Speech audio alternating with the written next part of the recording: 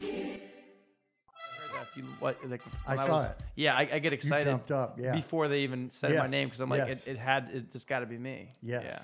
Yeah. that was uh, when they said 98, 92, I was like, whoa, this is, this wouldn't be good Yeah. if it went the other guy's way.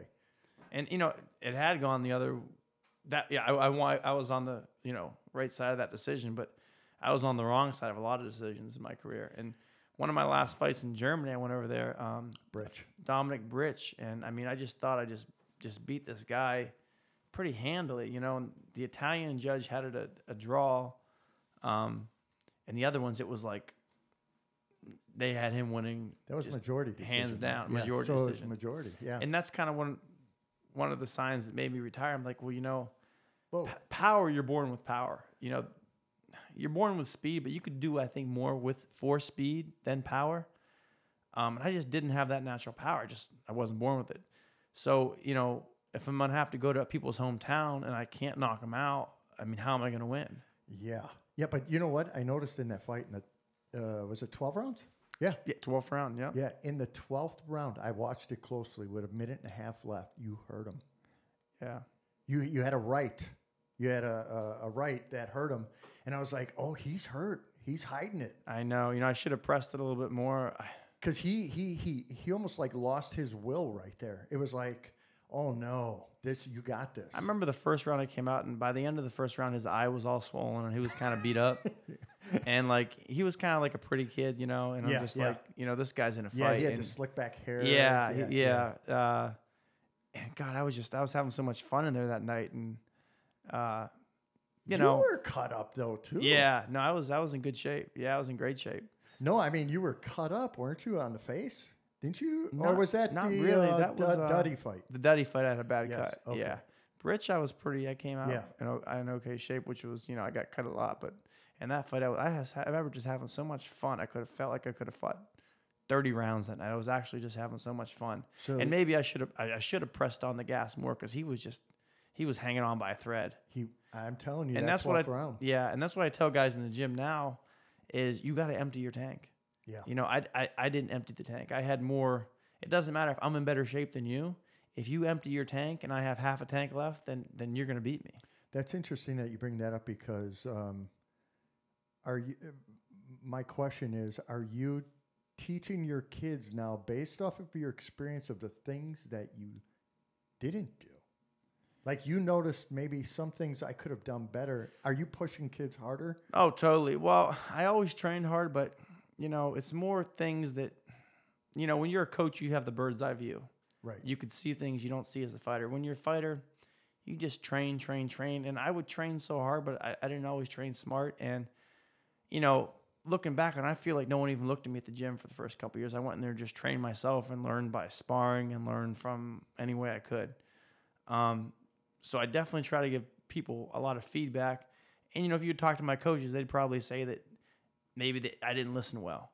Because I going in there, I don't remember having a plan or thinking. I just remember kind of going in there fighting Yeah. you know and i just i wish now that i'd watched videos and been more strategic and thought about doing things rather than just go and just try to just go and impose your will you know Well, when when was this? This was the uh, early 2000s then. yes well i was in the amateurs since the 90s i think gosh Okay. maybe 97 my first fight i'd have been maybe not maybe 96 i was i think i was 12 yeah i think maybe 96 was my first amateur fight uh, but then you know all throughout the, the 99 2000 2001 I, I turned pro in 2003 Okay, so it took seven years before you Yeah, turned well, pro. I was 11 when I started boxing. Oh, okay. So yeah, yeah, yeah. it's, yeah, turn pro. Well, these Mexicans, I tell you, they do it. Yeah, Canelo, I think was gosh, he was 15 or 16. Yeah. so he was really young.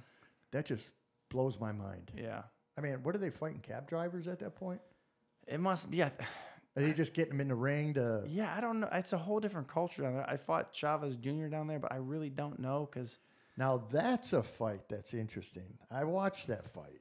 yeah, I, I, I bet a lot of people are saying, "Hey, Billy, uh, I think you got, I think you got had on that one." it was. You know, it was really close. I, I couldn't say I got had. It was more that it, it was close. You know, I think that if obviously the fight was in Youngstown, Ohio, that I probably would have won. You know, but being in Mexico, like I think it was a close fight. Maybe he won. You know. Yeah, you're in Culiacan, right? Yeah, yeah, yeah. right. You're not. But it was- You're not winning. No, the whole situation of the fight. I don't know if I ever told you the story. No, no, no, no. So I get there, uh, and like I said, it's a, the fight's at 160. And and nowadays, no, this is 2011.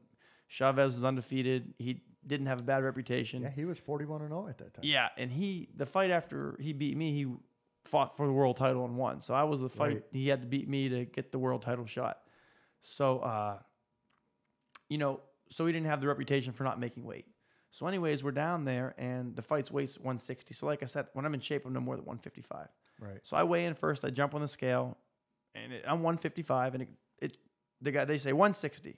You know, which is fine. I, I don't care because the fight's at 160. Okay. If they want to announce me at 160, so it doesn't look like I'm a small guy and it helps, Right. that's fine. Yeah. Then he jumps on the scale, and that needle bounced up to the top, like he was so heavy. It just it was like a rock. You put a piece of concrete on there with. I mean, just Do you know his weight? Did you know? oh I- no, I- he was heavy, real heavy. Yeah. So all of a sudden he jumps on and they yell 160 in Spanish.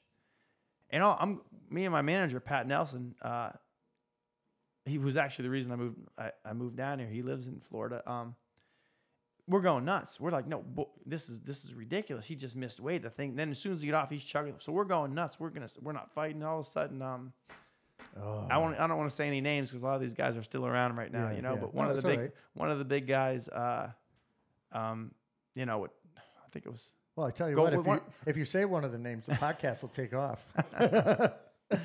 Um, now, one, they'll shut you. They'll shut. They'll shut his a boxing club down, and the podcast will shoot through the roof. I'm grinning from ear to ear. I love Yeah. these stories. No, so one of the guys goes, "We'll take care of it. We'll take care of it. It's okay. It's okay." He's he's kind of saying, "We'll give you know." So they came in my hotel room. I think they gave me, gosh, it might it was either five or ten thousand cash. and I oh, was like, you know, I thought I was rich with that. Right, And here right. he has probably made, I think, a half a million dollars.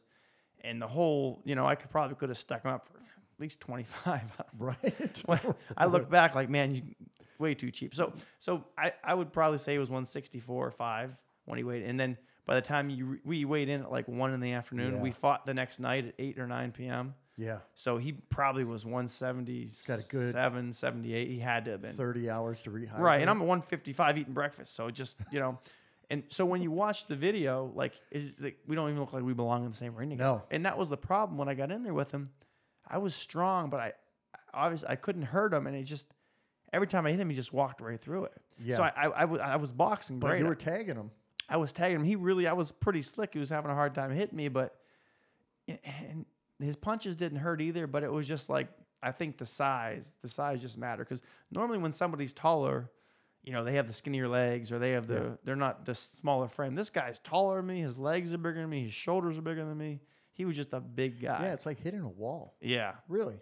That you're, if you're not going to hurt them, you're just going to try to tag them. that you know that's the and that's like I tell the guys this I said when you walk in a ring and you know that you can't hurt the guy like Yeah. it takes like a certain amount of balls to do that because like Yeah. I know I'm not gonna just clip a guy and knock him out Yeah. uh, that's why I had so many rounds me and me and uh Pavlik were talking and I fought more rounds than him yeah. because everything I'd win even when I fought a, a guy that wasn't great I'd go eight rounds with him or ten Right. rounds with him Right. because I just I'd win 190 Right. outbox him, but I, I just I, I think I had four or five, maybe five knockouts. Was it? Yeah. What um what was like your coming out fight for you?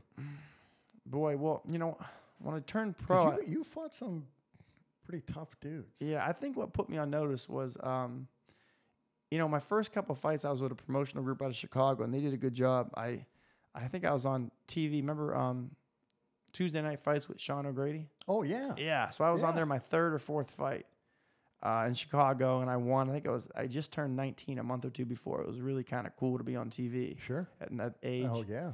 And then it was just to the point where I ended up getting a loss early. I was like seven and one or seven and two, and they just started kind of throwing me in there with everybody. I remember I fought Yory Boy Campas, who you know I fought. Oh, yeah. he fought I Trinidad. He fought Yeah. De La Hoya. He Yeah. fought. He was a world champion. I was 21 or two, and I was like 12 and three or something. Mhm. He came to Young. I fought him in Youngstown. I lost six rounds to four. No, Oh. But just like, and and you know, I lost fights, but that was the first time I was ever hurt. I mean, this guy hurt me. I was peeing blood. I wouldn't go home after the fight because my face was such a mess. I didn't want my mom to see me. No So I stayed at my buddy's house for I remember like four days. Oh, I thought you were going to say you were in the hospital. No, no, I, sh- I should have been in the hospital. Uh, that brings me to another story. I'll, I'll get to that later. let's Um, Boxing stories are Oh, always. are I'll tell you a quick one. So, you know, we're talking about fights I lost. I do want people to know I, I won 25 and I lost 11. So I won more than twice than I lost. But I did lose some fights. And part of that's because I fought the best in the world, you know? Right. So I'm in the Cayman Islands fighting the champion down the the Caribbean champion. Uh, this guy was just just a monster, you know. Um, gosh, I, I don't remember his name offhand. Um, really just sick, just big guy. Not Kirkland. Is it? No, not Kirkland. He was he was tough too. Oh, but um, dude, yeah, yeah, he was something else. Um, I'll have to look this guy's name up. But anyways, I'm down there fighting him. Only fight I ever got knocked knocked down and hurt. John, uh, look look up his name. Yeah, if you look at my BoxRec, you should be able to find him. Um, so, anyways, I go down there and I'm Cayman Islands. I'm excited. This is great. I'm thinking it's gonna be like the Bahamas or something. I go in there. we're staying at a hotel, which is nice on the beach. We end up fighting at some like gymnasium. It's like a bunch of like all Aborigines in the middle of the island. No kidding. And the first couple rounds I'm giving to this guy, it's like I'm winning on the scorecard. All of a sudden, I get head butted right in my nose. My nose splits right down the middle. I mean, there was I had to get like collagen shots and crazy stuff done to it after. But uh, the next round, I, I walked in an uppercut. I got knocked out. I mean, I, I remember walking right into the shot and getting up, and all those cliches ring true. Like you got your bell rung or you got buzzed because I heard a bell ring, and I, I remember like hearing a buzz, and I remember like just saying, uh, you know, getting up in the. I don't really remember much about it, but Did you see stars? That's a cliche. I think I did. Like you, you, you it's almost like a flat, like a, a flash. But Yeah, anyways, yeah. I'm sitting in my corner and I'm saying, Jack, I'm ready. I'm, I'm good. He said, Billy, man, the fight's over. he said, we got, we got stopped last round. I had no, but then, so I'm split from my nose across, all across my nose. It was, I wish I had a picture to show you guys how bad it was. You can still see the scar now on the bridge of my yeah, nose. Yeah. Um, and they're they're saying we got to get this guy some stitches. And my manager and my trainer, Jack, they, they wanted to go out and party. He said, "Oh, I'll throw a butterfly and he'll be fine." Come on. So I end up leaving there with the freaking butterfly on my nose and no stitches. So, was there a long lasting effect because of Oh that? my god! My, basically, when your scar's that bad, it was probably, I'm gonna say, you know, and I don't like to exaggerate. I never say the best ever. I would say, legitimately, between a 16th, I would say, and an eighth off my nose was the scar protruded upwards. Oh, because it's just the way it healed with the bunching. There was just like I, it was like almost I was wearing a nasal strip over my yeah, nose. Yeah. And then thank God I had some guys when I got back to Youngstown. They gave me shots of collagen in it and Yeah. knocked it down. And then it was just from years of not getting hit, it's gotten better. Your body kind of has a, your body wants to be healthy, wants to heal. But I was, I'll show you. I mean, for five years after that, my nose is a mess because, you know, Yeah. put a butterfly on it. Well, now what what fight was this in your career? Um, This was like within ten gosh, fights. I think I was, I think I maybe my fifteenth fight. I'm trying to find Okay, this. so so when you fought Kirkland, I, I remember watching that fight. You were you you had a couple losses at that oh, point. absolutely, yeah. Yeah. Um, I think I. he um, was a beast at, back then when you fought him because okay. he was an up and comer at you that time, and, wasn't and, he? and it's hard to it's hard to actually Was it Dominik Britsch? no Britsch. No, no, no, Britsch no. is the one we were talking about in Germany.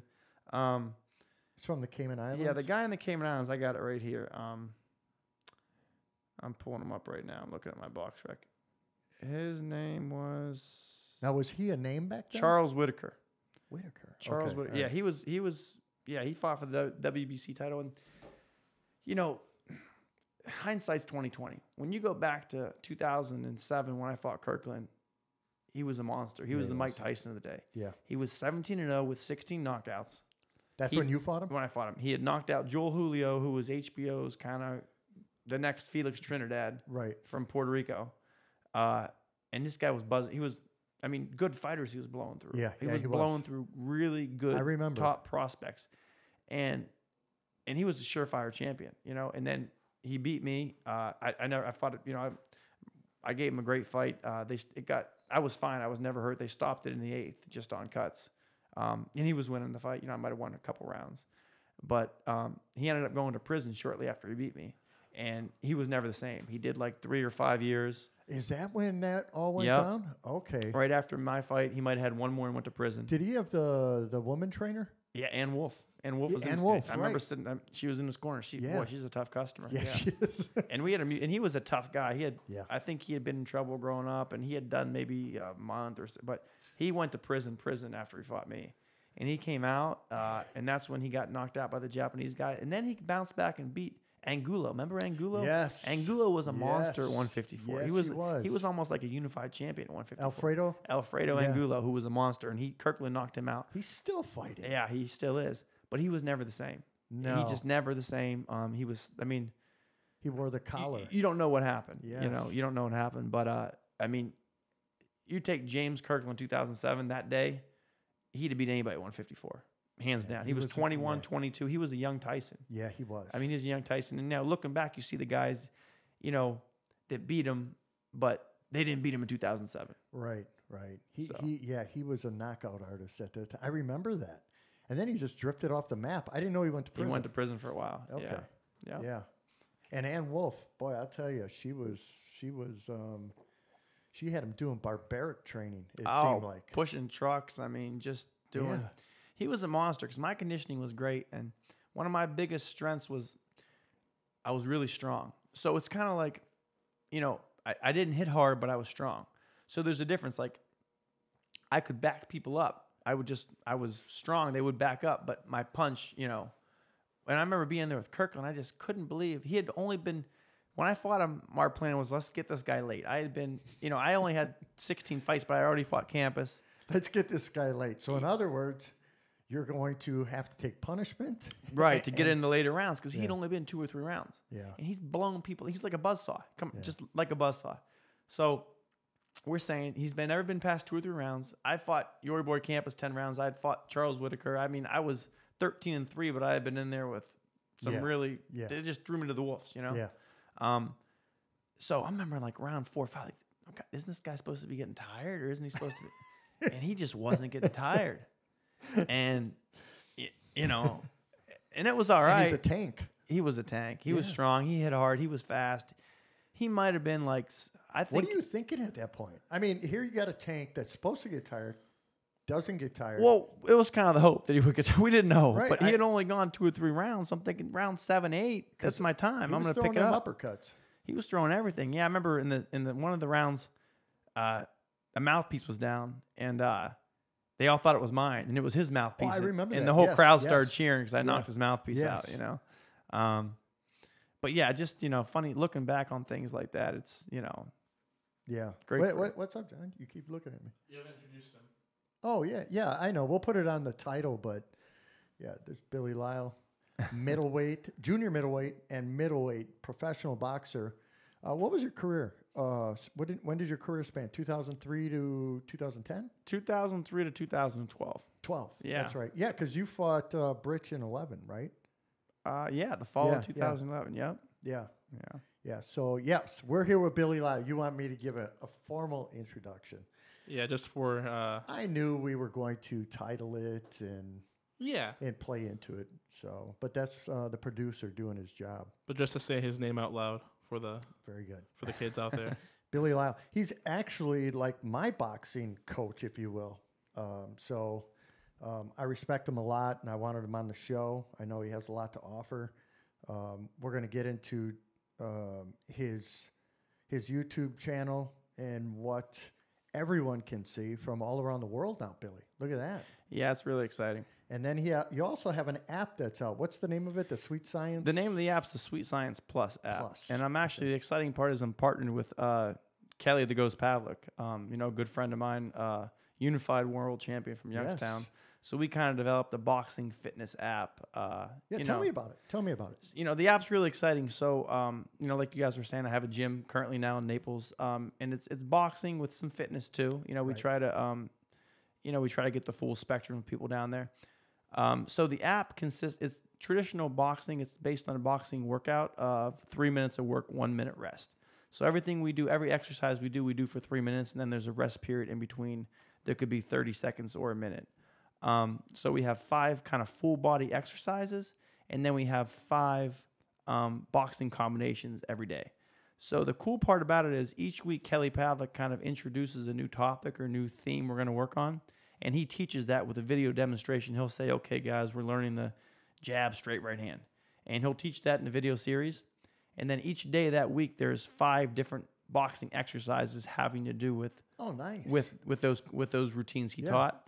And then there's a GIF of me throwing the combinations so people can see the correct form, the correct way to throw them. And to go along with that, there's also five full body exercises every day. okay. So you know the total workout is 30 minutes. Uh, you know, 30 minute a day workout, and you're getting 10 rounds of boxing. I'm sorry, five rounds of boxing and five rounds of full body exercises. Well, it's sort of emulating the ten rounds, though. Yeah, exactly. So are the the body exercises is that more of a calisthenic type thing? really kind of everything. It's it's it's great because we have um, almost some stuff we do at the gym. You know, we might do. You know, it could be something as basic as a squat or uh, you know a plank or push up or just a lot of it's full bo- just body weight exercises. But we have 109 of them, Oh, yeah, and that's you know there's the cool thing is we have an interval timer and a regular timer. So if you're doing something like a burpee. You can't do three minutes worth of burpees, Right. If you're doing them the right way, right. so you could stick the interval timer on where it's 15 seconds of burpees, 15 second break, 30 second burpees, 30 second break. So they have the option of using an interval timer. exactly. So the interval timer we'll have for each exercise, we'll designate, we'll say uh, which should be a standard timer, interval timer, and people could switch. So Oh, that's number one. Also, number two is that if someone's just not in great shape, maybe a basic exercise that you know a guy like you could do no problem in three minutes. That they're going to stick that interval timer on so they can kind of take their time and get more Sure. more rest A guy like me. Nah, you look like you're doing all right too. I think you could handle it. Be truthful. we want to be authentic on the podcast. Went in other words, McDonald's on the in, way here. in other words, Billy's going to come up to you afterwards and say, "You need to join the club." Don't remind me. You come down to the gym, you'll be in for a treat, man. I want to watch. He keeps saying in for a treat, but I keep thinking it's. I won't enjoy it as much as he. he well, says you'll will. you'll feel good when you're done. Yes, So what what know. doesn't kill you makes you stronger. So we'll almost kill you, but you'll end up stronger. that's why I have to watch. So okay, so you have this. I, I think that's fascinating. You have the interval uh, timer for someone that feels okay. I can't do the three minutes. I can choose. Boom, right say- there, right on the top. Just click over That's interval brilliant. timer. Yeah, I thought that was kind of a, a concept we definitely wanted to, to add to it. Yeah. people have to hear that. I mean, because a lot of what people don't like about exercise or going to clubs, I'm a little embarrassed. You hear you can work out of your home, build up to a certain state, use your your uh, your methods that you have, and build some confidence. Yeah. Before you know it, they, they might be at a boxing. You know, club. absolutely, and you know, my wife's kind of the brains behind it. She, you know, she's she's younger than me, so she knows more about technology than me and Kelly, You're, and you're she's smart too, buddy. by just by saying that. I'm learning. um, but anyway, it was her idea. She said, you know, that at home workouts are scheduled to surpass gym memberships, gym workouts. Apps Yep. are the new biggest workout trend because, you know, everyone's so busy nowadays. yes. And, you know, you can get this right in your house. You don't have to go anywhere. You know, by the time, even if the gym's close, you drive 10, 15 minutes there, you park, you walk in, especially up north where it's cold. Then you get in there, you change your clothes. You're talking in, you know, an hour and a half probably minimum. Right. Um, so to be able to just, you know, you got kids, you have a family, you're on a, a, a, a time schedule to be able to go get your workout in 30 or 40 minutes, you know, that, that's something I think more the option more people are starting to choose. and they're learning boxing. They're, it, this isn't a typical, you know, exercise fitness. Right. And, and that's the exciting part. I mean, when me and Kelly did it, the first word we thought about is authentic. We want to have an Yeah. authentic experience. And Kelly Pavlik and myself, we're not going to go do JC Penney boxing. Right. It's just we wouldn't do it. There's you couldn't pay me to do it. I I invested too much of my life in the sport to do something that I don't believe in. right. So you know we we believe in the app. You're getting world class coaching in your living room. A, a world champion, the same guy you saw on pay per view, and you watch fight Bernard Hopkins, and you watch unify the middle weight division, and on the cover of Sports Illustrated, he's teaching you how, Yeah. how to throw a jab, how to throw a right hand, Yeah. and you don't have to go anywhere to get that. That's great. So it's pretty exciting. Now this they can find the app on. Apple, Apple, Apple. iTunes Store, uh, the the Sweet Science Plus. Uh, just put it in there, uh, and we should pop right up. Excellent. Well, I, I know it's going to take off. if it's anything like the gym you run, it's going to take off. Yeah, it's thank just you a- for that. You know, it's just a matter of time and getting the word out there. Now you you're also on YouTube. Yeah, so I just kind of created a YouTube channel. Um, uh, you know, partly because there's so many guys down the gym, and it's um, a lot of them just want to know more fundamentals and Right. basics. And you know, I teach it to people, and we go back and look. But if there's a video they can watch, there, there's a reference they can go back to. Yes, And a lot of times they're at the gym, and I might tell them something, and you know, I've been doing this 26 years or 20, 24 years, so they can, you know, they can go back and look at exactly what am I saying, or, or Right. just just rewatch it. I tell them, I I'm walking around the gym helping people, giving them advice. Okay, what did he say? Let me go home and rewatch that again. Right, right. So that was the goal. I mean, when I when I did the YouTube channel, you know, I wanted to do it right. So you know, we got high quality videos, and it was produced, and it looks nice, and different camera angles, so that people could see what I'm talking it about. is. But It's great. yeah, thank you very much. But I wanted, I just wanted to help people, and you know, I'm not, I would never knock anybody else's YouTube channel, but some of the stuff I see on there, it's like there'll be Joe Smith from, and he's teaching boxing. I'm just like, Actually, Joe Smith's a good. no, Good Joe Smith's an excellent boxer. Yeah, no, I, I was just after I said that, I'm thinking that's probably the wrong example. I'll say Joe Blow because Joe- Joe, Joe- Smith. yeah, there you go. Joe Smith's the guy that, yeah, he's a really good fighter. Uh, so Joe Smith, uh, when you hear this, I wasn't talking about the Joe Smith from Massachusetts. Uh, no, but um, you know, and I'll see stuff and there's hun- Yeah. hundreds of thousands of views. I'm thinking this is just some of the stuff. I think it just doesn't make sense to me. Yeah. Uh, here's what frustrates, and this is what I said. I, I won't just make a video to make a video. I, I don't have time to do it. I don't care how long my videos are. I'm not trying to reach a timestamp or I'm not trying to get uh, um, an advertiser. I'm on there. I don't care if my videos, if it's, if I can get it done in two and a half minutes, we'll get it done in two and a half minutes. But Right. I'm not just going to go up there and just try to get views to get views. Right. Right. If I tell you something, it's something you can apply, you can use day one in the gym. It's not theoretical. I've been there, I've done it. I, I know what it's like to be in the ring. Yeah. So I'm not going to tell you something where you're you're pivoting and doing something that Lomachenko does and has been working on for 23 years. I'm going to give you something where day one you're going to go and spar and you're going to try it and you're going to say, "Well, that, that worked. That, that Right. works." Right. Yeah, I think too, you know, with the quality of your uh, YouTube, and I've watched it. Um, I, I, it's great. The angles are great. Your instructions great. It doesn't seem like you had three takes on it. It seems like you just did one take. And when I see one take, I feel it's supremely authentic because it's you talking. That was the fir- that was my first takeaway from the video. Was like that was not auditioned. That that came straight from your mouth. yeah, it wasn't rehearsed or no, anything. no, it, it was it was beautifully done, and I'm not blowing smoke. I'm not. I, I'm not. I'm not going to blow smoke. Going back to what you said about the videos that are out there, I think there's a lot of. I mean, a lot of people want to help people, but some of it's just not done the right way. You know, maybe optics are bad, or they don't talk real well, or yeah, maybe some of the boxing is really off, like techniques are not well, and that's what bothers pe- probably people like you um, that have been around. But I think for the most part, people want to help. It's just the delivery is can be bad.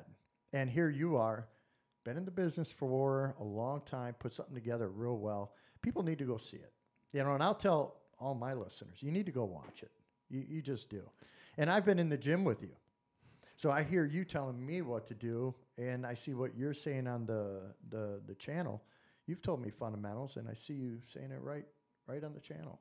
So it's not like you're telling us one thing and then the world another thing.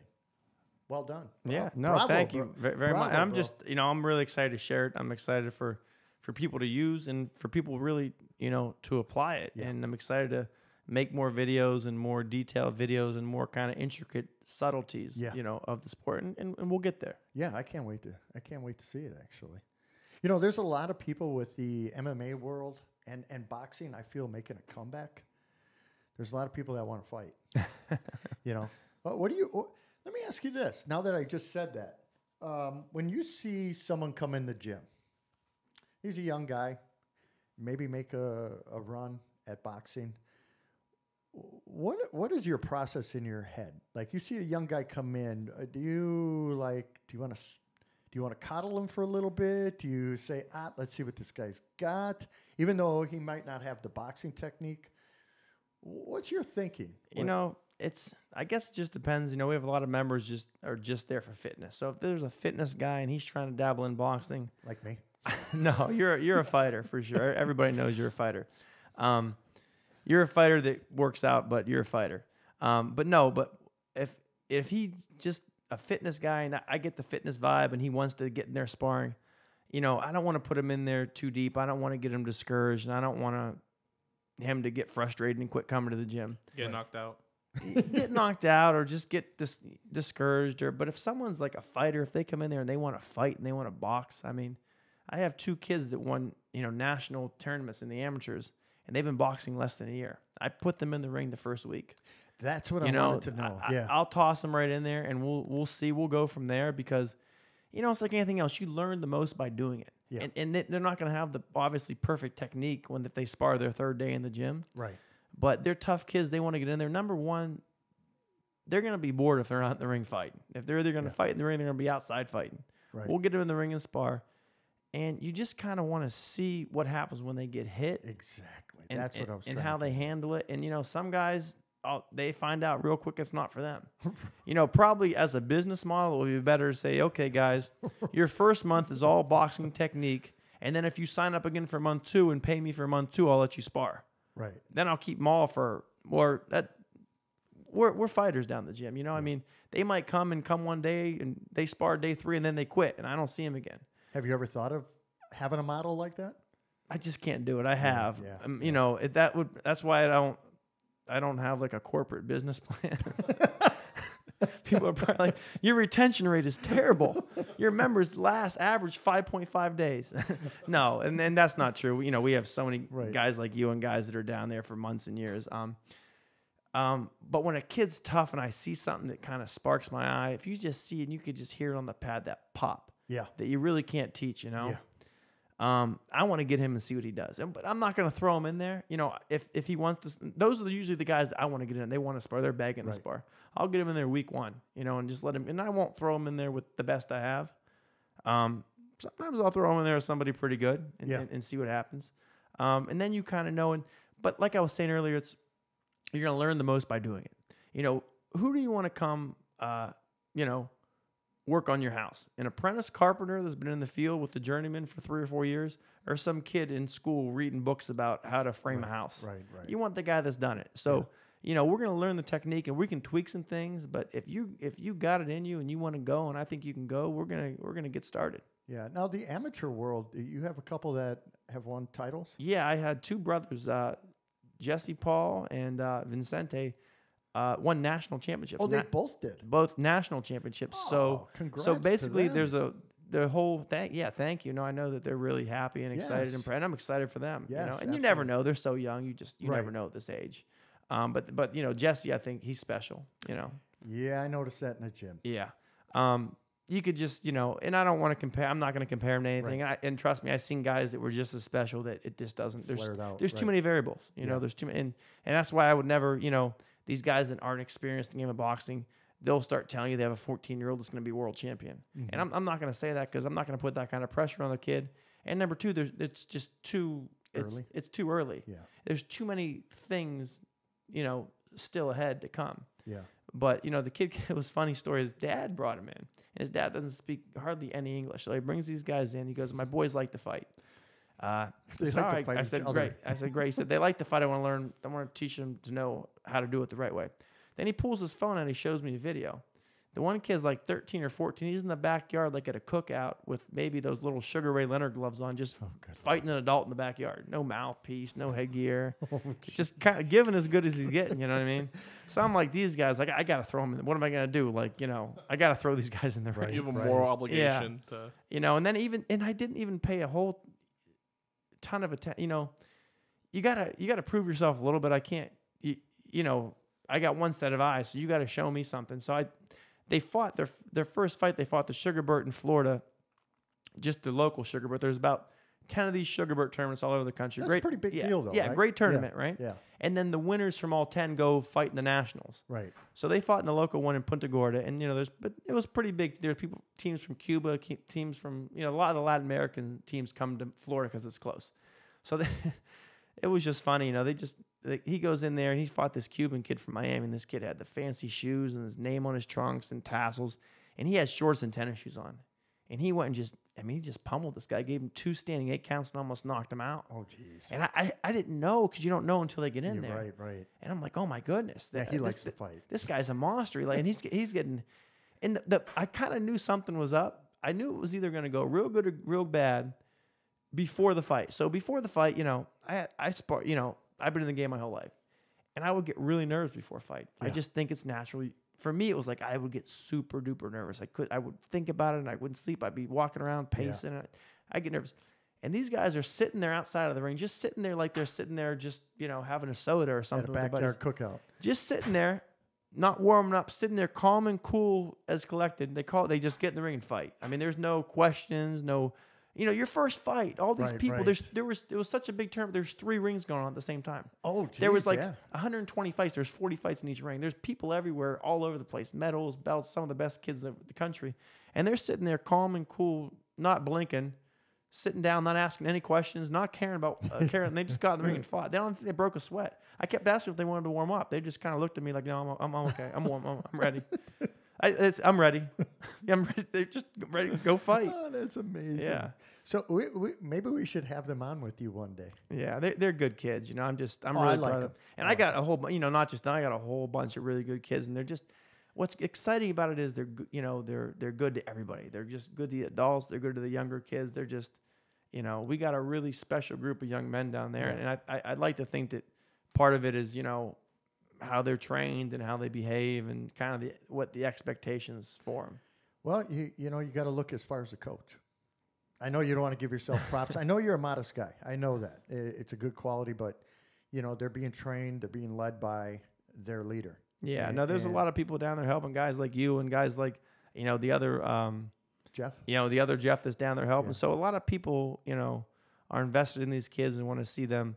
And the lessons you learn in boxing, they transcend to your whole life. Yeah. You know, you learn self reliance, to rely on yourself. And they'll get, I'll get a kid in the ring, and once in a while they'll get in the ring, and and you know, halfway through the round, they're getting beat up, and they look at me. I said, "Don't look at me, man. I can't help you." I've heard that. when you're in that I've ring, heard you say that. you're in the ring. Like you, you got you either take a knee and you, you quit, you quit, and then you quit, which is you know it happens. Right. Not that you quit, but you just You got beat. you know, or you're going to try to f- figure it out. And that's the problem with a lot of kids these days where you got to figure it out. Like no one's up. You can't ask Siri. You can't ask, you know, Right, you right. can't Google the answer. Right, You're in that right. ring and you're out of gas. No, I've heard you many of times. And someone's trying to hit you in the head. You better hold them. You better, you better spit your mouth, whatever you got to do. Now, don't get me wrong.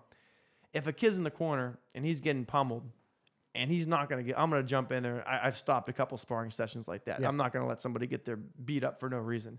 But if you're a little bit gassed and you're looking for a way out, Yeah. or you got a little bit of blood on your nose and you're looking for a way out, No, I've heard you. I've Yeah. heard you say "figure it out" yeah. a few times, and, I, and I just chuckle while I'm hitting the bag. And then when the exciting thing, then when they do figure it out, and they they get through the round, and they didn't think they could, then other things in life come up, and most of them aren't going to be professionals. They're not going to make a lot of money, Right. but other things come up, and they say, Deal with it.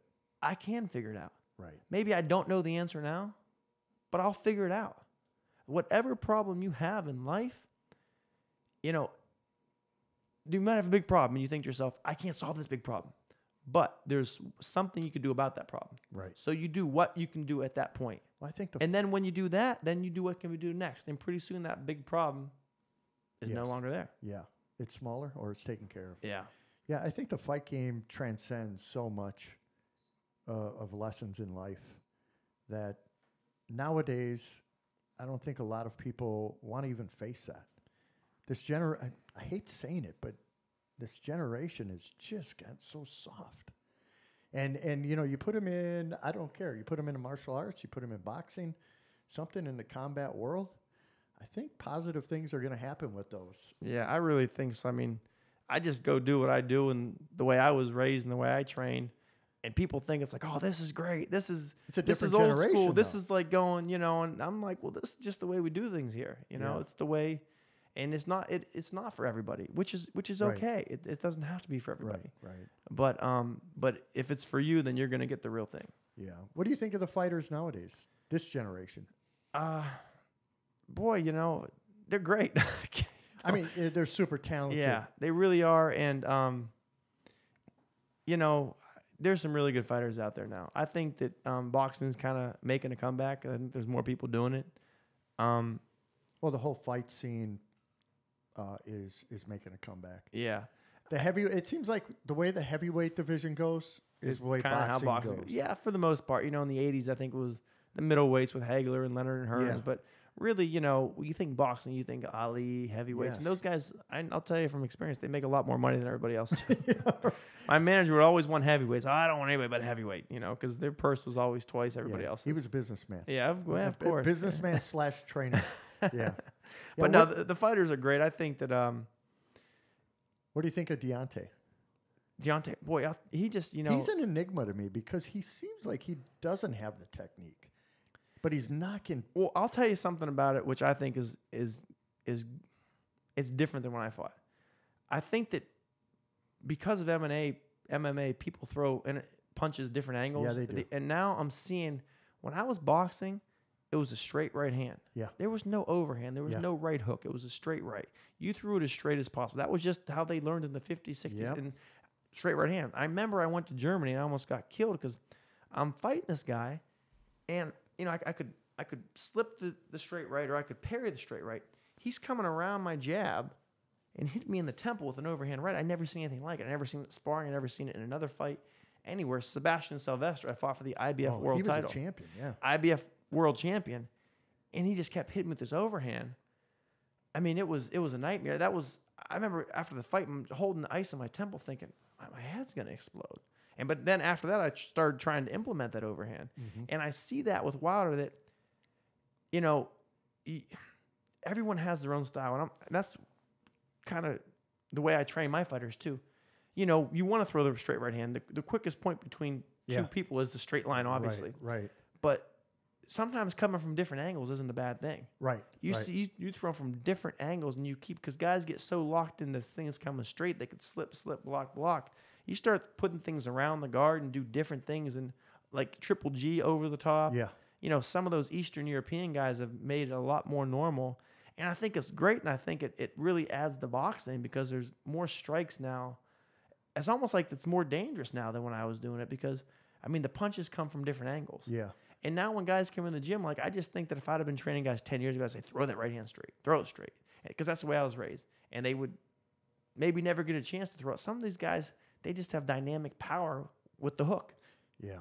Yeah. Well, Deontay, his last fight, who did he fight? Um, Uh, or was, was it it Ortiz? Ortiz? Yeah, they had the rematch. They did. He threw a straight right. Yeah, that a was straight. That was straight. And That was he straight. never throws straight No. right. And I'll tell you what, he just, you know, he just has just freakish power. I mean, he's 210 pounds. I don't think I he's that know. big, but and that's what's interesting about his next fight with Fury. Somebody asked me about the other day, who's going to win? Who do you think? And I said, well, if it go, you know, it's if Wilder catches him, he's going to knock him out, and if he doesn't, Fury will probably outbox him. I mean, kind of like the first fight. Yeah. And the, and the, what Deontay said, uh, something really kind of cool. He said, if you fight me, you have to be perfect for 12 rounds. Yeah. He said, I There's a just got. He said, that, I yeah. just got to get lucky once. Yeah. And you'll watch his fights. I've seen it a couple times where it's a ho hum fight. You go to the fridge to grab grab a you know, And they're out. a- a- and the fight's over. You come back and you're watching a, a, re, a highlight of it. Oh my! And the, the the whole six rounds was boring. Yeah. that, he's pawing his jab, pawn, but but he's smart, and I think he got Mark Breland in his corner, who just is a tremendous coach, a former Olympian. Yes. So I mean, he's getting great training. But uh, I but like Wilder in the next fight. you, over Fury. Yeah, I do. I do. I don't think Fury's going to be able to get away with the same thing again. Yeah. I think Wilder's getting you know, I'll tell you what's really special about Wilder, and you know, it kind of gets into, you know, whatever. But that man believes in himself, yeah, he does. and when you believe in yourself, and you really believe in yourself, gosh, you're really hard to beat. Talking about it before, we, we brought this up, McGregor and uh, Bud. he uh, Billy says he's going to go to Vegas. I'm now, just wait, you're going to go to Vegas when they fight in the MMA fight. MMA fight. What boxing? Everyone knows if that they would- do this. I, I'm I'm really hoping they do because I'll tell you what, Terrence. That's Bud, funny Bud, that a boxer says he hopes a boxer will fight in an MMA fight. I, I do because I'll tell you, Terrence Crawford is the best pound for pound fighter in the world. There's not a close second. The guy's phenomenal. He's so underrated. What he does in the ring is incredible, He is underrated. and he is he's mean. It's hard. I mean, he gets in the ring like he has fun. Like he wants to hurt you. Like he's Yeah. not gonna out It's a switch that must go off because he seems like a real you know, cool dude. Oh, I mean, and I mean, he just he is all his, all all his ducks in a row, and he goes in there and he just, I mean, he's a mean guy. He has fun beating people up.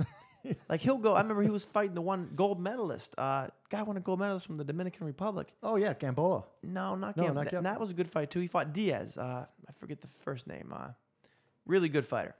Anyways, he's beating him up and he's toying with me, telling I, I want to punish him. I want to hurt him. Like he just and when he gets hit, he'll fight guys that are punchers. He could outbox. He'll get hit and he'll smile and he'll want to. He'll, Yeah. he'll, he likes it. He likes to fight. He's a tough. He's the type of guy that beat up everybody in the streets. Yeah, yeah. I mean, I don't know if he did or not, but that type of guy. Yeah. And he'll go in the He ring and has beat, that beat you story, up, beat right. you up in the ring too. Yeah. You go in the ghetto, he's the toughest guy in the ghetto. Yeah. You go to any any any rough area of any big city in in in the country, he's the guy. Hey, you don't want to run into Bud. Now that's a guy uh, technically in the ring. Isn't he the one that switches southpaw orthodox? Yeah, all the time. I love he's, that. He's fun. He's so fluid. He's so fast. He's phenomenal. And I think that you know he hasn't got the name of some other guys because it's just not his personality to talk trash. Do you Every think time, it's his promotions though? No, I mean his Bob Arum. That's the guy. That's, that's Yeah, Muhammad Ali, Sugar Ray Leonard. I mean, he had Canelo for a while. De La Hoya. It's it, it's just you know what I think. Bud, to tell you the truth, I think he would rather make, you know, ten or twelve million dollars and maybe make say, a hundred in his career, and be himself and be Bud, and you know, uh, people that know boxing know he's one of the all time greats Right. but I don't think he cares about the limelight. I don't think he cares about being Floyd Mayweather. I don't think he cares about going everywhere and people knowing him. I think, hey, I got a hundred million. I just don't. That's he's not gonna. He's so, you know, like Floyd will say, like Floyd will say, it's all about the money. It's for the money. It's for the money. The money, which is fine. That's his prerogative to get the money, and he's really good at getting it. Yeah, you know. is. Where Bud, I just don't think. I think it's so his integrity. I, I just think it's so important to him to just be himself. He he he'll go beat you in the ring. What else does he have to prove? Right. I mean, he says we're gonna fight. To, what what are we arguing about? The fight's gonna happen. Right. ain't I mean, I'm I'm I'm not gonna up. fight you outside the ring. I'm gonna show up. I Right. mean, but if you get, then he might fight. Yeah. if you get in his face at a press conference, Yeah. he, he might still hit you. He's not a punk, but he, I don't think he's gonna go out of the way to He- do it. he- it seems like he fights for the honor. Yeah, I, I just think he loves to fight. I mean, he's no punk. If if you're just, he's not gonna like just be so noble that he's like one of these karate guys that turns the other cheek. Er, I think if if you're gonna get in his, karate guys. Well, you know, you know, like the I know what you're saying know from what I a mean. philosophical from a philosophical yeah. point of view, he's not a punk. You know, you know, where I think if if McGregor would have gotten his face like he got in Mayweather's fight, and that'll be interesting to see Oh, promotion. yeah. If he gets in Bud's face like that, I think Bud takes a swing. I mean, he's just he's just, he's not a bitch. He's I mean, gonna ruin his payday. well, I, that's who he is. I mean, these guys they can't help it. Oh, man, I don't well, know. I mean, Let's hopefully it well, happen. but the thing about it is, he probably won't start talking about McGregor the same way Mayweather did. Yeah. He so it'll probably be a different type of thing. Yeah. But he is the only boxer, and I don't recommend boxers do MMA. It's a different sport. Yeah. And I would say for ninety five percent of the time, the MMA guy will beat a boxing guy. Mm, maybe 80 with MMA rules. with MMA right, rules. right, maybe not right. 95. I'll say 80. I'm not as sold as some people. Yeah. are. I'll say 80. But Ray Mercer did it. knocked the guy out. Yeah, Yeah. with one right hand. Former a former MMA champion. MMA champion, right? And there's it. There obviously it happens the other other way too. Right. Um, but I think the caliber of athlete in boxing is far superior. You know, I think some of these guys they get like a Terrence Crawford, the the the, the speed, the coordination, the balance. And here's my analogy, okay? And and I take a lot of flack because a lot of guys down the gym are MMA guys. MMA's huge now; it's as big as boxing. Right. It's big, you know. And you know, I might get some hate mail from them or whatnot, but I tell guys, look, there's guys that have been doing MMA three years, four years. They're champions. Any sport you could be a champion at in four years is not a real sport. Whoa, yeah, you you will get hate mail for That that would look look. I mean, it's a fight. They're a great fighter. Right, But right. that'd be like Tom Brady saying, "I picked up a football for the first time four years ago, and I'm the best quarterback in the NFL." Or it'd be like, I mean, it would- be like LeBron James saying, "Oh, I just started playing basketball at 31. Now I'm the best in the NBA." Yeah, but don't you think there's something very like organic with fighting? Like, like you can be a good, brute, tough fighter and possibly still be a champion. I mean, look at Deontay. He started late, didn't he? I know, but I mean, he's you know that's at least 18 or 19. 18 and 30. I get what he's you're saying. No, I get what you're saying, That's though. I four- get you know, it's still 14 years, and he needed a lot of.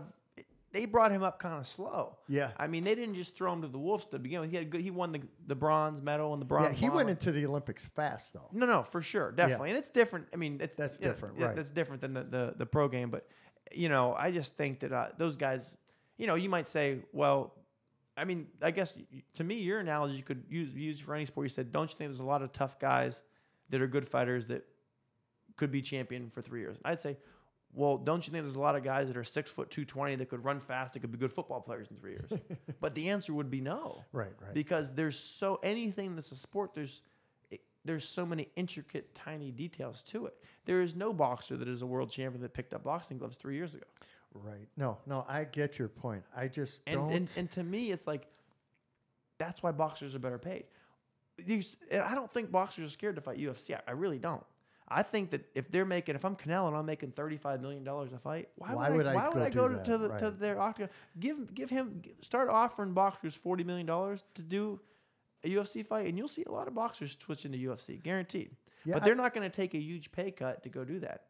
And and and Crawford probably feels like he'll he would make that kind of money with the McGregor, so that's probably why he threw his name. Right. I was just that. going to say that. You know, also, here's the other part of this. We haven't seen a young primetime boxer try MMA. It- It's been guys that are Old, past over their the hill, career, past their prime. James Toney, Ray Mercer. Right, because the young guy, there's too much. They have Too much They're making lose. too much money. There's too much to lose, and that's what I keep telling everybody that Yeah. like you can go get a 36 year old Paulie Malignaggi. Yeah. That's not the same as fighting the 26 No. year old Lopez, the guy, Right. you know, Teofimo Lopez. yeah. I mean, you put that guy in there at 135. He just lands With, I mean, okay, I mean, look at McGregor. What's he? 5'8", 5'9", my height, and he fought at 170. His last fight. yeah, he did. I mean, on, like Charlo fights 154. He's six. foot- Just, I Yeah. mean, I- I'll tell you right now, somebody that would beat him in the cage, another guy, would be that that guy from Russia. That uh, uh, gosh, that light heavyweight champion. Uh, Oh, Usyk. Ar- no, Arthur Usyk. Arthur Beterbiev, the one that. Oh, oh yes. Arthur, Oh that my guy's a God. monster. He's- that guy's a monster. Nobody knows about him. No, that's a tough guy. He just fought who? Oh, He just knocked out the guy that almost the guy that almost uh, when the fight the fighter almost died. Um, oh yes. yeah, remember he almost passed away in the ring. The 175. What the heck's his name from Canada? Um, Oh, you know who it is. Uh, yeah. yeah, I posted it. Yeah, he almost he almost passed away and. The guy that beat him, undefeated guy, he just knocked him out. But I mean, you get a guy like that. There's probably you give me a you give me a UFC guy, and every UFC champ, I'll find a boxer that can beat him. in my opinion. Wow, bro, that's a lot, man. Because you know what, the UFC. And I'm not that boxer. I'm not saying that's me. Don't They throw some of them kicks at their legs, take their knees out. Oh. No, I mean, you know, and that's in. You know, I was telling the guy down the gym about. I was getting excited because I'm a big Crawford guy, and I just think this guy's amazing. who were you talking with? Is uh, is it the Muay Thai guy? Uh, yeah, I always got to. What's his name again? Uh. I just talked to him. I just texted him. I want him on the podcast. Oh, Anthony Sinatra. Yes, yes. Yeah. I got you know Anthony kind of he's more he's he started boxing. He does Muay Thai, but he had a, He's more an- of a boxer? He's more of a boxer. Yeah. He got into Muay Thai, but I think his roots are in boxing. He, he knows uh, Paulie Spadafora, who I know from Pittsburgh. We know a lot of the same people, but uh, but I think he kind of thinks. I, I, I don't know, um, but yeah, when I talk to these guys, I just kind of I don't know. I just It'll be interesting. Yeah. I, I, I tell you I what. I hope it happens. And here's why the only I do too. I think it might happen, and that's because, you know, ESPN Plus or ESPN is top rank, and that's who Crawford's with. And there's no one for him to fight. None of the Yeah. PBC guys will fight him. Errol Spence won't fight him. Garcia won't fight him. Pacquiao won't fight. No, they won't fight him. Not, you know, I think they think they, they wouldn't want to fight him. Number one, but number two is they're with a different promotional group. That's that's what that's what I Right. was referring to before. right. Was it because of promotions? This cross promotions that they have to do can stifle a fight. Oh, totally. And PBC that's that's wants to make their PBC fighters fight each other. Of other. course, and, and that's what's great about the UFC, and that's what Yeah. really is. And that's why people are into it and watch it because you see the best fighters fight each other. Yeah. And another cool thing about it is, if you lose, it's not the end of your career. Right. And boxing is like, Yeah, you for get me, setback. I never right? ca- I was 25 and 11. I didn't care. Yeah. I, but like for a lot of guys, they think like a loss is a death sentence. It shouldn't be like that. Jake LaMotta had 20 some losses. Sugar Ray Did he really? Oh yeah, Sugar Ray Robinson was 100 and something and 27 or something. I mean, Yeah. Ali lost over 10 fights. I Yeah. mean, I- I don't know how it got. I think it got with these big promoters. You had a guy on your network like HBO or Showtime, and they only fought on that network. And then when they lost, it was like, oh my gosh, we got to find somebody. Like they do, they wouldn't let them lose. Right. Like right. it's okay to see, to lose. Like you, the comeback. Like what? How do you bounce? Like I, I don't know. It yeah, you sort be of lose your sentence. steam there because everything is is prompted on that. Yeah. You know, he, is he undefeated? Is he undefeated? Right. you know, who did he lose to? Oh, he lost to that guy. Right. He must not be. Where uh, and that's what's kind of cool about MMA, and there's a lot of cool things about it. I don't have nothing, you know, a- against it. I just think that, you know, boxers, the best boxers, not the best boxers would beat him. right, right, Now, don't get me wrong. If, if he goes out there, Crawford could get kicked in the head, and the fight's over. He loses. right, right. I'm willing to bet a thousand dollars he doesn't. Man, I might want to just bet you. yeah, so we could just keep. We could just. We could just keep the juice. Right, keep it in the house, Yeah. right? Right. Why? Why? Why? Why give the juice away? Huh? So, okay, let me switch subjects here. What's going on with your uh, your young kids? Are you gonna? Do you have anything coming up for them? You know, there, we. I, I was talking to uh, Jeff Norther, who runs the boys program with me, uh, and we looked at it. We went to 19 bouts in the past uh, seven months, so that's almost like Oh, geez. two or three. Yeah, And my wife wanted to kill me yeah. Because every because you you're know gone. Well, the gym's open 8 a.m. till 8 p.m. and then every weekend I'm in Orlando, Tampa, Miami. Right. The fights normally aren't close around here. So you know, uh, my wife's expecting in a couple weeks. We have our second, our second. Uh, Congratulations, Thank you so much. Yeah, it's really exciting time. Thank you, thank you. Um, so she said, listen, the baby's due like February 20th. She said, no fights in February, Billy. Like, no. Yeah. So, you know, there's a couple shows we're gonna go yeah. to, and Jeff asked the boys, and a couple of the boys. They're like, ah, we love you, but I don't know if I want to go without you, Billy. So we'll see if they want to fight. I, I all the faith in the world in Jeff, but it's the boys' decision. I don't want to make them fight without me. Right, right. And then if not, we'll get back in March. Um, you know, Marco Island has a huge show every year at the JW Marriott, which is just like the most Where is that? Uh, Marco Island. Oh, At- Marco. yeah, at the Okay. J the JW Marriott. I mean, it's just the nicest show I've ever been to. Yeah. When you- is this? Yeah, I'll get you some tickets. March. It's really kind of like a black tie event. They bring teams in from Ireland and all over the place. Yeah. So Oh, I- yeah, Coach Richie that. does a great job. But there'll be fights, and we're gonna fight. We're gonna fight them as much as we can because, you know, the, the kids got to fight, Yeah. and it's tough because boxing's a year-round sport. So you got to know kind of when to hold them and when to push them. Like, you know, a couple of the guys down the gym this week, they missed the day. They, it's okay. It, it's Right. okay because it's not like football where you play football, then the season's over, then you play football every day. Right. You can't do boxing seven Every- days yeah. a week, 365 days a year. So sometimes you gotta know when to pull off the gas, when to step on the gas, and that's, I, you know, what I think is part of what makes our team so effective is we know when to do that. Yeah. Guys, Do you, a, do you have like a advantage. camp? Uh, uh, do you do you like make this camp type I- you know, it's atmosphere? Uh, it's kind of it's really individualized. So different kids fight on different dates. We'll put five kids' names in, and maybe one or two get a fight, and then a week later, a couple other kids fight. Oh, so, it's predicated on it's if they have a if match. they have a match, right? Okay, but right. but there's always a couple things I do conditioning wise because at this stage of boxing, you know, I can't take a lot of credit. Most of it's who's in better shape. When you're a beginning amateur, who's it doesn't matter. I- I mean, you know, I have all this knowledge and experience, and I, I just chuckle sometimes because also people doing this fancy pad work and pivoting and and they don't run. Like Mm-hmm. then they get in the ring and they get stopped in the first or second. When they, as soon as they're out of gas, the fight's over. Do you, do you really believe that the the running is a huge Oh, thing? sprints is all it is. Sprints? Absolutely, Okay, so hundred percent. If you that want to be, you have yeah. to have your. Those you bursts. have to have your lungs go. Yeah. you take that breath in, and you can go all day. I mean, if Yeah. you don't run, you cannot be an effective boxer, especially at an early age, because it's so much of who's in better shape. Yeah. It's so much of that fundamentals and who's in better shape. A lot of it's not complicated. I hate running. Oh, hey, you, well, you know what I would do, and it was the worst thing to ever do. Before my fights, I'd go to the track. You know, I didn't have a big team or you know, I didn't, you know, big money behind me. I'd go to the track by myself with a stopwatch. I would sprint a 400 meters as fast as I could. Then I'd time a minute break, then I'd sprint 400 Oh, jeez. time as many rounds as I had. If I had That minute eight- break. if I that had- minute break gets shorter. oh, like it was it was insane. But I mean, I remember just Yeah.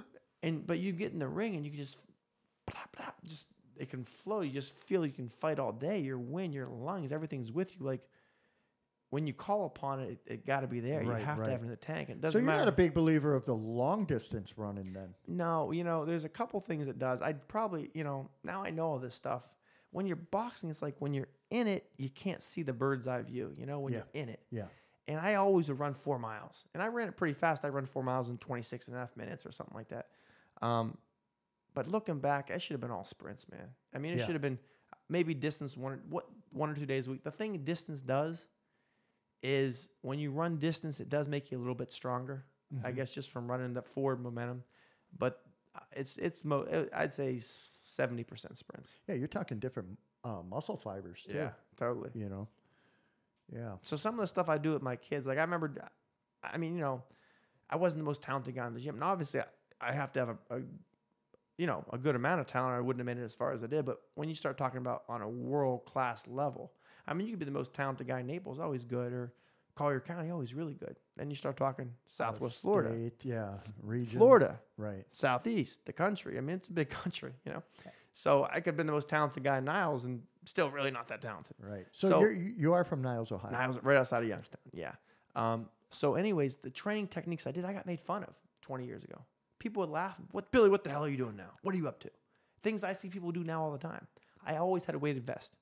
I put my weighted vest on. I, I hit the bag. I take it off. I feel explosive. Yeah. I had those strength shoes with the platform. Oh yeah, yeah. I would do those. I would do, Yes. and then all the, you know, all the, all the, all the, all the black kids down the gym would be making fun of me because they could jump twice as high as I could. Anyways, they didn't have the strength shoes.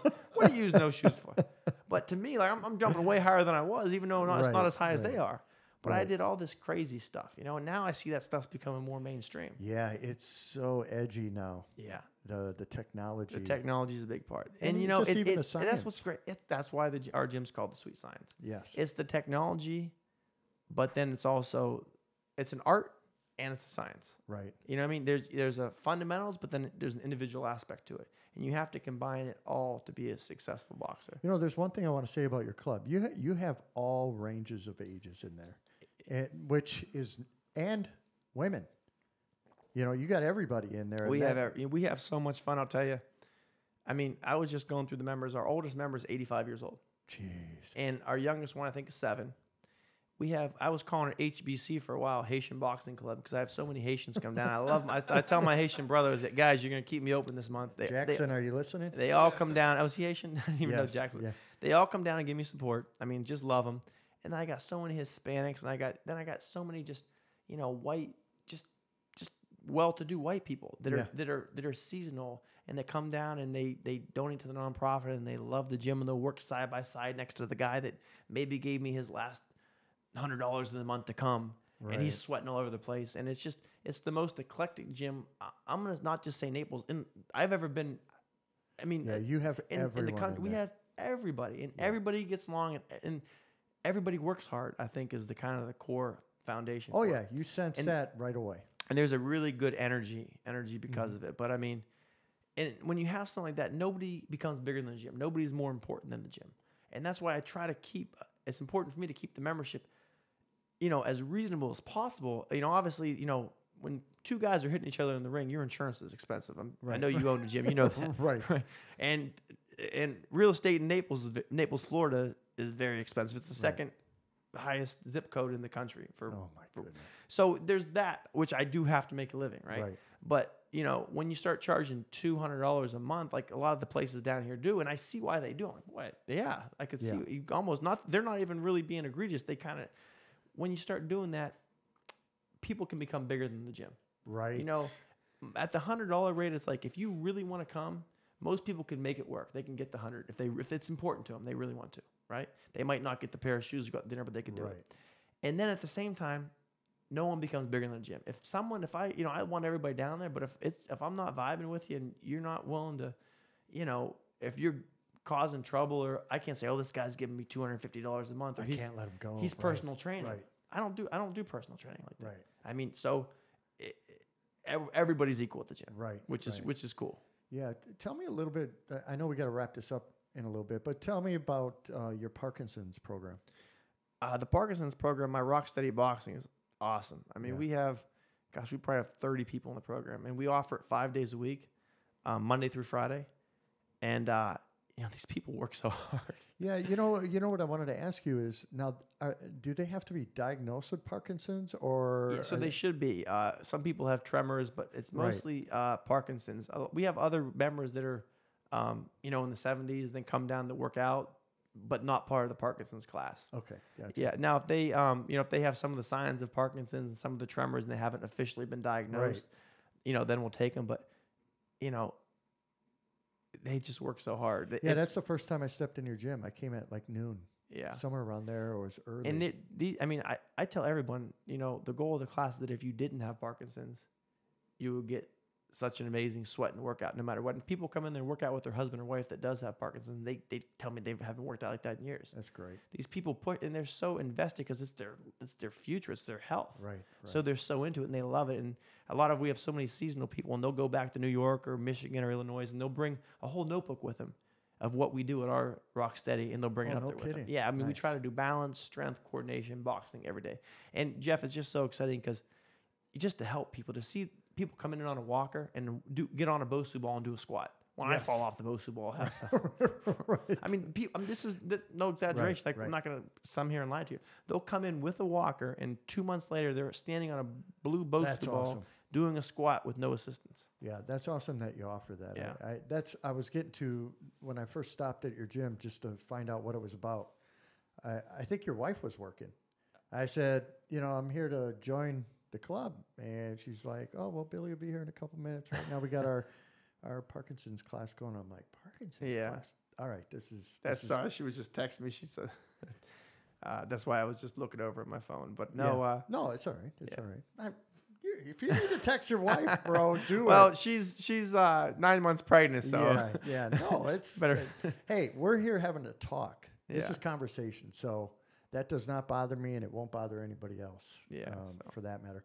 But we'll we'll wrap it up anyway, uh, so you can get home to your wife and your and your daughter. How old's your daughter again? Two. you know she, she too, she'll be three. Uh, couple weeks, twenty seventh. Is she having a sister or a brother? We don't know yet. It's exciting. So you know, it- so you know, we want to be Oh. surprised. We were surprised for the first one. Right. Um, Girl or boy, it's gonna be a boxer.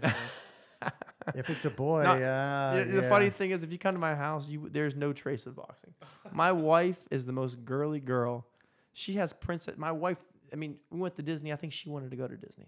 You know, it was kind of her. She, she had the whole right. like, we're gonna meet this princess and this princess. Right, I'm right. Like Susie's too. She doesn't know. right, You know, but I mean, so it's like I walk into that oasis and it's just, I'm, um, it's, It's just good. It's all women, all a whole different vibe, a whole different tone, and I wouldn't have it another way. I just, you know, I just it's a good break yeah, from it is, and I just love them so much, and it's just, it's just so different than what I grew up with. It's so, and it's just, just you know, when you grow up as a boy, it's one thing. Just to see how my daughter's being raised, and Yeah. they're wearing dresses, and they're princess, and they're painting their nails. Hey, So- I've always said this, man. When I I had my two boys and when I had my daughter, it my life changed. yeah, I mean, my boys changed my life, obviously, but my da- it, daddy's little girl thing.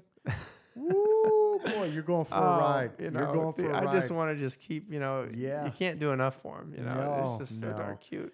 well, that's a good way to wrap it up. Is over some some good family talk. Yeah. Um, Billy, I appreciate you coming out here, spending your time out here. I thank you. I know you just got out of the gym. You know, you work what twelve hour day in you the know, gym. it's it, but it's a lot of fun, and when you're doing something you love, it, you know, it give it actually gives you energy. It doesn't Yeah. take away. But I can't thank you enough for having me on, Oh. and you know, just to be on a show like this with a guy like you, you know, it's amazing. I'm really excited, you know, I appreciate for it. all the things to come for you guys here on the Matrix it'll, Hour. It'll good. It'll be good.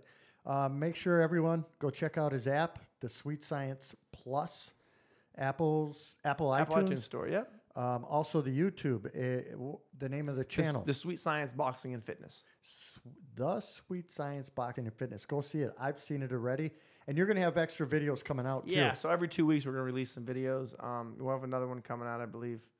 Uh, Should be soon. Yeah, maybe maybe this Sunday we'll get Yeah, one. Out. Yeah. yeah. So that'll be a wrap, everyone. Thank you, and Billy, thank you again. Thanks for having me on. That's a wrap.